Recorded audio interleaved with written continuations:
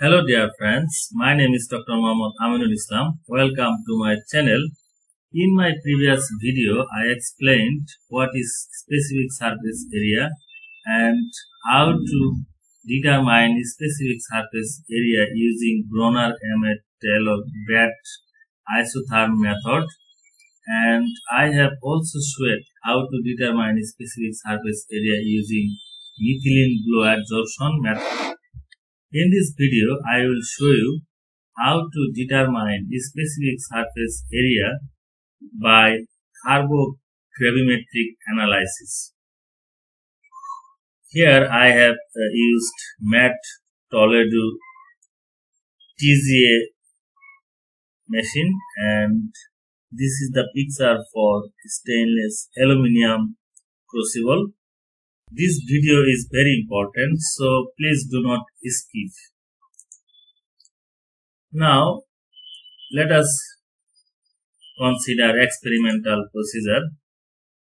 An experimental procedure was set up based on Mettler Toledo user's guide and initially three consecutive blank experiments was performed to get a clear baseline and to remove any water absorbed by alumina crucible at 700 degrees Celsius at the rate of 10 k per minute by placing empty crucible on sample pan.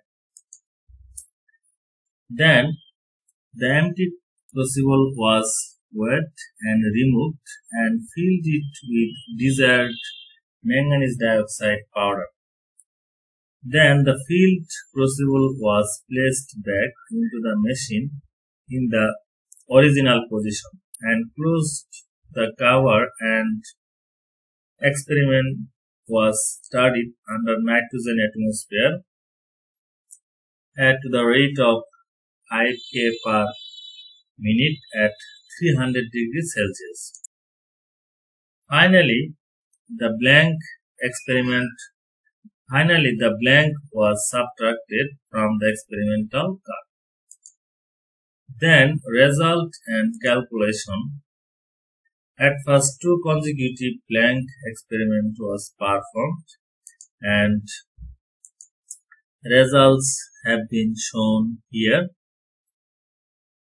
TGA curve for empty aluminum crucible then, third blank empty crucible experiment was performed to get a clear baseline and to remove any further water absorbed by alumina crucible at 30 100 degrees Celsius at the rate of 3 k per minute by placing the empty crucible on the sample pan. As shown here, clear baseline was found. Then fourth curve, the empty crucible was wet and removed and filled it with the desired air-dried manganese dioxide. I have used 14.20 milligram. The filled crucible was placed back into the machine in the original position and closed the cover and the experiment was started under said conditions. So here is the figure for mass loss from 14.02 to 12.798 milligram. Then initial mass was this and final mass residue after the experiment was 12.798 then amount of manganese dioxide needed for desorption process to remove the surface confined water is 1.402 milligram. Then we know molecular diameter or thickness of water is 2.75 angstrom and the density of ice is equal to 0.934 gram per centimeter cube.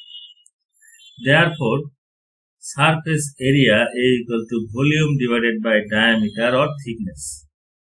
Again, volume equal to mass by density divided by diameter equal to mass by density into 1 by diameter. So I have put the value then I have got this meter square. Therefore, specific surface area equal to surface area divided by mass of residue. So here is the final result 38.439 meters square per gram. Therefore, the specific surface area for birnessite was 38.43 meters square per gram, which is very close to the reported value in literature using BET nitrogen analysis. So this is how we can determine specific surface area of any sample using TGA analysis. That's for today. Thanks for watching.